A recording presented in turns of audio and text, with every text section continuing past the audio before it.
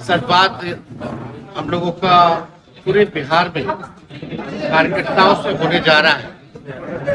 और पहला जो कार्यक्रम है कार्यकर्ताओं से दर्शन और संवाद का वो समस्तीपुर की धरती से रखा गया कर्पूरी ठाकुर जी हम सब लोगों के नेता रहे।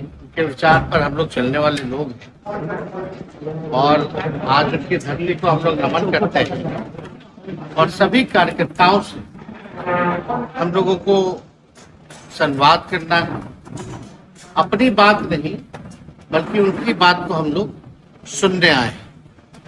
हम लोगों की कोशिश है कि कार्यकर्ताओं से मिलकर के जो जमीनी हकीकत है खास तौर पे जो बिहार के लोगों की जो जमीनी जो समस्याएँ हैं, उसको और अच्छे तरीके से हम लोग जाने, पहचाने, ताकि बेहतर आपको जो रिपोर्ट जो मिलता है, बिहार की स्थिति क्या है, बिहार के लोगों की स्थिति क्या है, समस्या क्या है, जो ज़मीन पे जो कार्यकर्ता रहता है, उससे बेहतर कोई जानता नहीं तो हम लोगों की कोशिश है कि साथ ही साथ सारी समस्याओं को तो सुने ही लेकिन अपने पार्टी के संगठन को भी हम लोग मज़बूत और हमारी व्यक्तिगत इच्छा रही है कि कार्यकर्ताओं से डायरेक्ट जो है, हम उनसे पहचान बनाए, उनसे जुड़े, ताकि जो भी कार्यकर्ताओं की जो समस्या रहेगी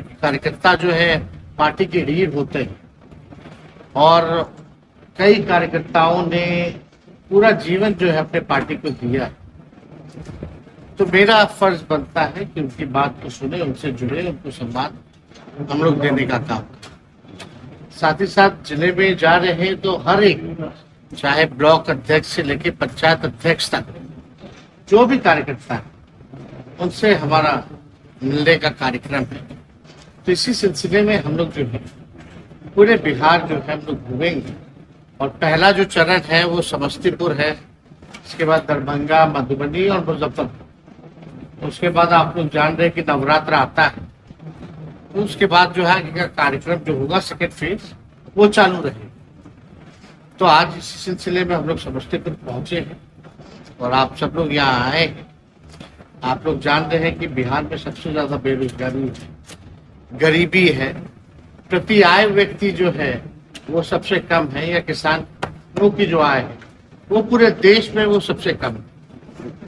लगभग 94 लाख, चौरानवे लाख लोग जो, परिवार जो है, बिहार में गरीबी रेखा के नीचे जो है, पाए गए हैं। और हम लोगों ने जब महागठबंधन सरकार उसमें जाति आधारित गणना के साथ साथ हर एक व्यक्ति की, परिवार की क्या स्थिति है कौन कितना पढ़ा लिखा है, किसका कितना आय है, किसकी, किसका नौकरी है कि नहीं है, कौन भूमिहीन है, सारा डेटा हम लोगों के पास है।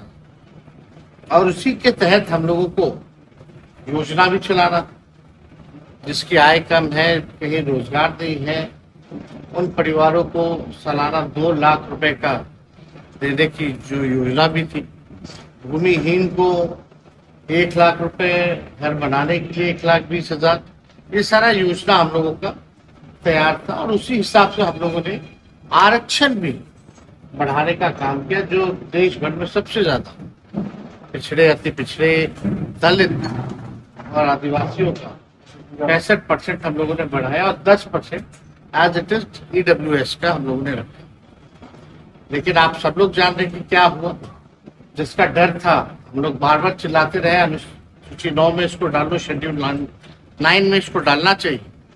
लेकिन भारत सरकार और डबल इंजन की सरकार ने ऐसा नहीं अपने सपनों की आशिया को दे एक नई पहचान माँ भवानी डेकोर प्राइवेट लिमिटेड के साथ जो है ऑथोराइज डिस्ट्रीब्यूटर ऑफ़ कचारिया देश की मिट्टी से बनी टाइल से देश को बनाते हैं। और जहाँ मिलती है सभी प्रकार के Indian and imported granite marble sanitary एवं कोटा स्टोन का अनोखा एवं आकर्षक संग्रह। माँ भवानी डेकोर प्राइवेट लिमिटेड मतलब a complete floor solution new zero mile Dadar road Muzaffarpur call double nine three four seven five three triple one